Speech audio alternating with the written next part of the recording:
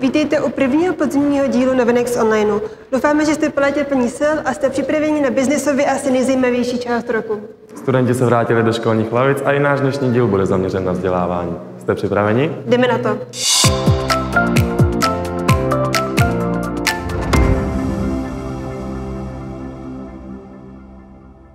S-Click začátkem září představil novinku, nový typ reklamy, která se jmenuje dynamický banner. Jedná se v podstatě o to též jako dynamický remarketing, akorát s tím rozdílem, že nebudete oslovovat své minulé návštěvníky webu, nýbrž nové návštěvníky, kteří ještě na vašem webu nebyli.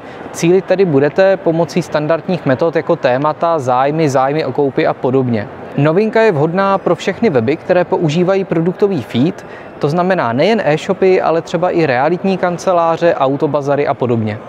Jelikož jsme na půdě seznamu, pojďme si představit jednu novinku přímo odsud. Seznam rozšiřuje e, svoji službu mapy.cz o nové haptické mapy. Haptické mapy budou sloužit pro lepší cestování a orientaci po městě pro nevědomé slabozraké občany.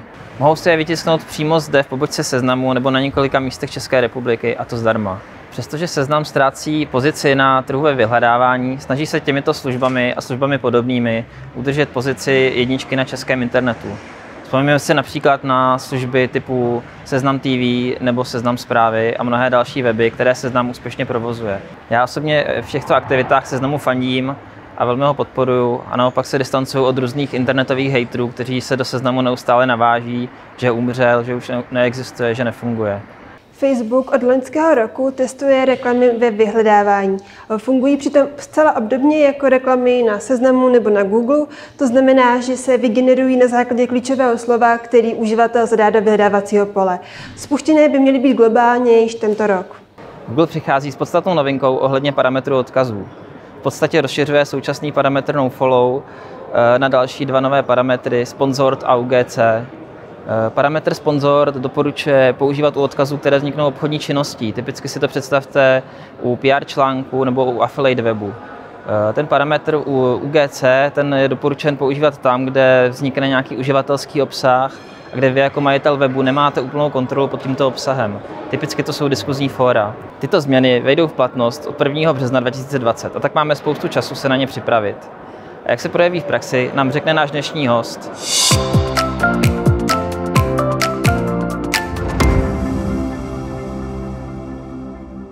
Dneska tady máme jako našeho hosta Pavla Ungra. Eh, Pavla asi nemusím sáhodlouze představovat, jedná se o jednu z nejvýraznějších tváří české SEO scény. Eh, každopádně, Pavle, moc děkujeme, že jsi na nás udělal takhle čas. Dneska se budeme primárně bavit o změně nofollow odkazu, kterou Google oznámil poměrně nedávno. Ty sám si na ní rychle reagoval vlastně článkem. Já bych se chtěl zeptat, co obecně podle tebe uh, tahle změna pro svět SEO a link buildingu znamená? Doporučil bys nějakou změnu v přístupu k budování odkazů?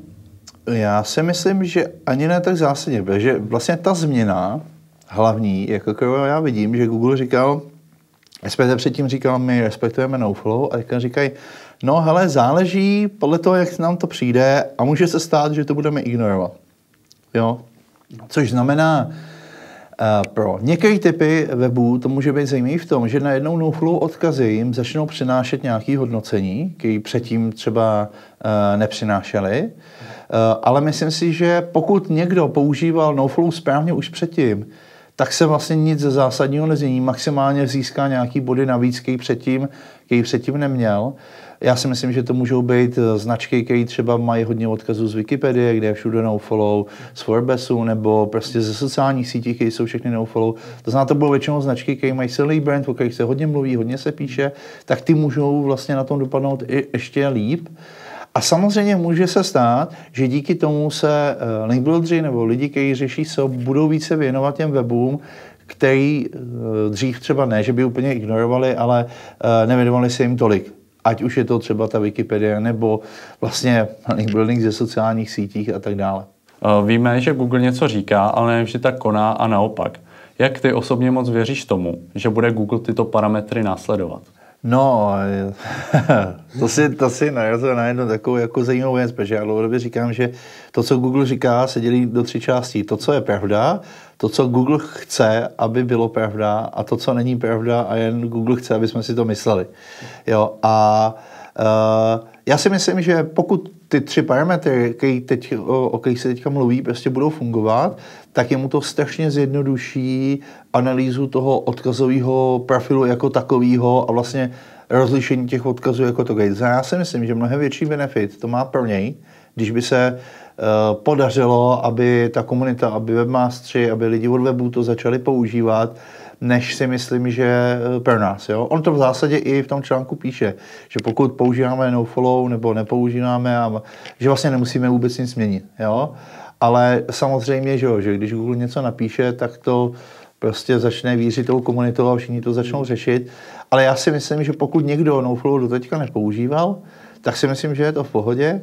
A uh, jediný co, uh, a to je to riziko, že by se, um, a to já vlastně nedokážu úplně přesně říct, a to je to označování vlastně jakoby placených odkazů jakýmkoliv způsobem, bych tam přidal teďka to, co, že vy nemusíte být noflow, ale myslím, že to je tam sponsored, mm. jo.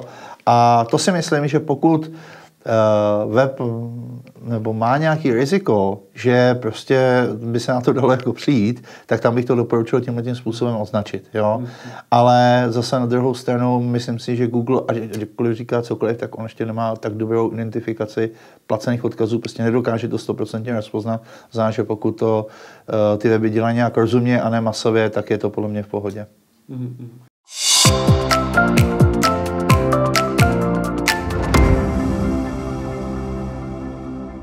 Při výběru vhodné domény pro umístění odkazu nezapomínejte na štěpení link juice. V praxi to znamená to, abyste se nesoustředili pouze na počet referenčních domén daného webu, ale brali v potaz i počet odchozích odkazů. Ukazatele jako domain rating, domain authority a další jsou sice fajn pro rychlý přehled a představu o tom, jak zhruba uh, je web velký a jak silné je jeho odkazové portfolio. Nikdy se však slepě neřiďte pouze těmito metrikami, ale berte v potaz i ostatní důležitá kritéria. Při budování odkazového portfolia se zaměřte hlavně na přirozenost a relevanci. Z posledních kroků Google je jasné, že odkazy patří pořád mezi klíčové faktory hodnocení webu.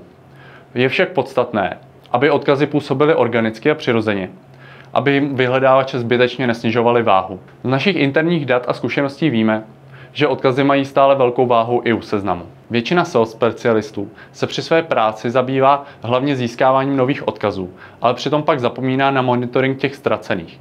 Mějte své odkazové portfolio pod kontrolou, ať vaše předešlá práce zbytečně nepřijde v ní več. A na závěr jedna důležitá věc.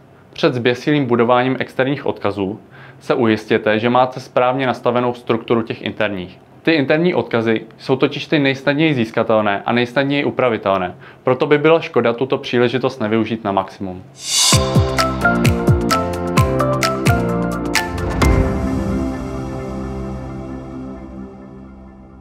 Dneska tu mám vedle sebe Adama, který vám přidá zajímavé tipy na konference pro podzim a zimu 2019, které by vám neměly uniknout. Tak které to jsou? Ahoj, Di, díky za slovo. Za mě se určitě vyplatí návštěva e-business fora, což je konference zaměřená pro všechny e-shopaře. Hlavní, hlavní témata letošního ročníku by měla být nějaká expanze HR nebo třeba budování značky. Dál je to za mě určitě PPC Restart, mm-hmm. Což je konference pro všechny specialisty, ale i pro uh, majitele e-shopů, kteří se zajímají o PPC. Mm-hmm.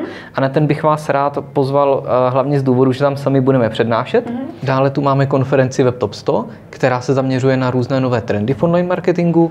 Tady s chodou okolností bude přednášet naše kolegyně z německého týmu TEA. A, a konečně se podle mě vyplatí navštívit i Social Restart, což je obdoba PPC Restartu, akorát, že pro sociální sítě, to znamená pro všechny specialisty, kteří se věnují sociálním sítím a pro další nadšence, kteří se o nich chtějí dozvědět více. Mm-hmm. Zmínil se, že spolu s Lenkou budeš přednášet na PPC Restartu.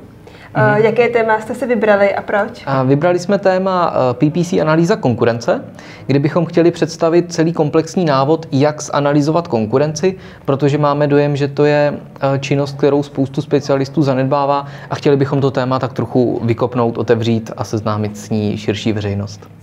Tak já moc děkuji za tipy Adamovi a vy se určitě podívejte na náš blog, kde najdete článek se seznamem úplně komplexním všech konferencí marketingových nebo dalších oborových akcí pro pozim a zimu 2019.